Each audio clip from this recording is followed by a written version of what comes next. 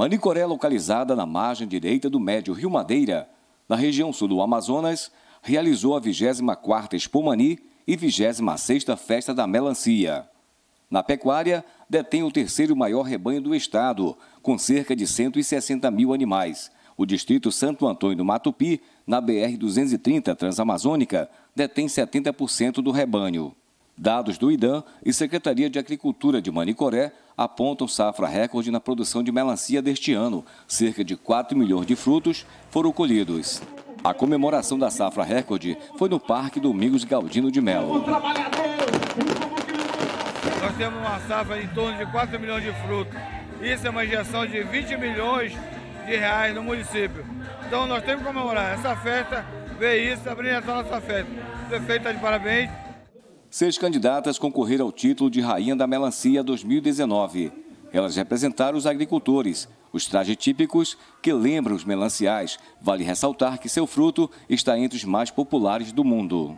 O Berrante anuncia a volta do rodeio depois de quatro anos ausente da programação do parque.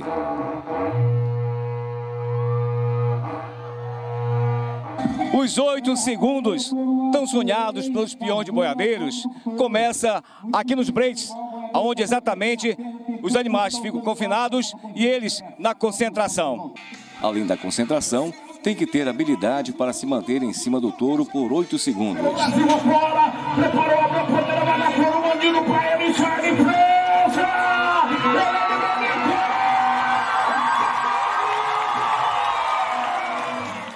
Moradores e visitantes estiveram nos três dias de evento. A coordenação estima público em 40 mil pessoas circulando pelo parque. A festa está maravilhosa, melhor do que isso não podia estar. Possível sair daqui sem nenhum registro, uma foto, já tiramos várias fotos, maravilhoso, simplesmente maravilhoso. Segundo a prefeitura, o evento movimentou cerca de 10 milhões de reais, contribuindo para a geração de emprego e renda. Produtor, ele também merece ter alegria, merece ter lazer e ele está tendo. É, nós somos o terceiro maior produtor de gado do estado do Amazonas.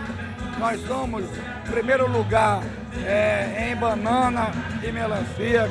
Então, com certeza, é, tudo isso gera é, recursos, gera renda para a população. E com o povo vindo de outros lugares, a renda é melhor.